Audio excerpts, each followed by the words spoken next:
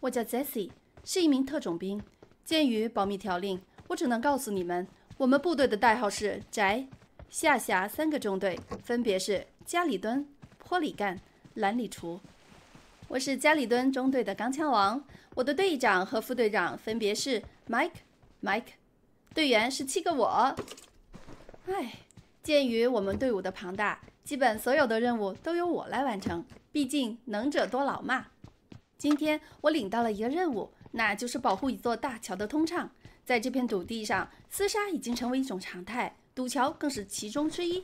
我今天就是要保证所有人都不会被堵桥。虽然我是一个堵桥专业户，但谦虚的我还是用一夜的时间拜读了几千部视频，各种的堵桥方式和反堵桥方法都已在我心中。四周枪声响起，我强忍着钢枪的冲动，开车直奔大桥。毕竟完成任务才是最重要的。整座大桥目前还是畅通状态。我将吉普车停在远处，转身回到大桥上。这里是堵桥者的最爱，百分之九十九点九的堵桥者都喜欢在这里搞伏击。是时候给他们上一课了。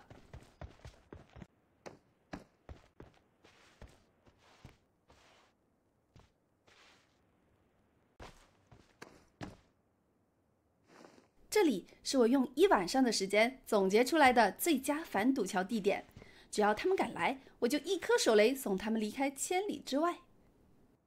时光荏苒，岁月如梭，终于第一辆车从桥上通过。嗯，后面还有一辆。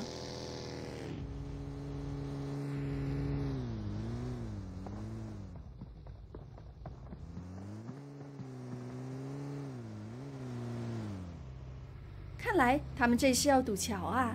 四人满编小队，我内心平静，脸上露出八颗牙的标准微笑。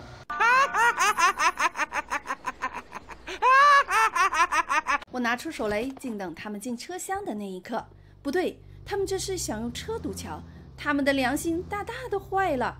这样一来，没有人能开车通过这里。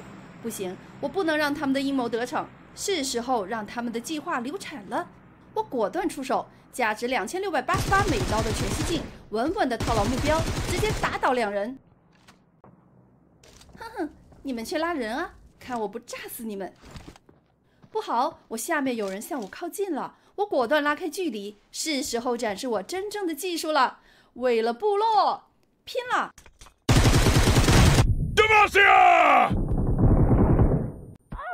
你已被淘汰，即将离开军事竞赛体验区。我的任务失败了，是我低估了他们堵桥的执着。我只想说，城市套路深，我要回农村。我是 Jessie，绝对谦虚，偶尔谨慎。